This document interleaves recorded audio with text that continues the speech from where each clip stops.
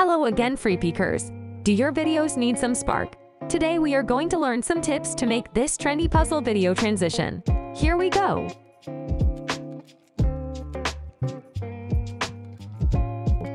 Let's start. Download some Freepik video footage.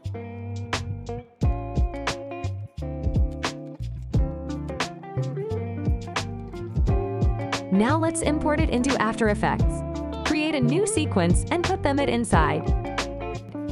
Duplicate the clips and freeze the first frame in one of them. Now mask the subjects or objects you prefer.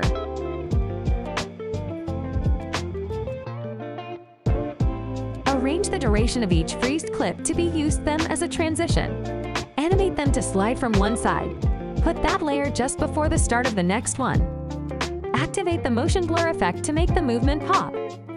If you want to take it to the next level, you can add a bounce effect. Simply add another keyframe slightly before the one you previously inserted, but this time in a different position. And you're ready to go. Experiment with these kind of transitions and your content will jump to the next level. See you in the next video.